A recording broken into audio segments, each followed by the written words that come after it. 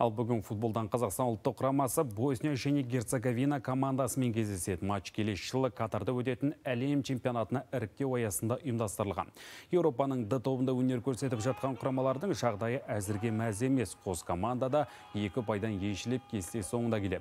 Айта кетейік Талғат Байсуфиновтың шәкірттері соңғы екі ойында азулы Украина командасымен екіде екі есебімен тең түсті. Ал сырт алаңда Финляндия ойыншыларына бірде нөл есебімен жеңілді.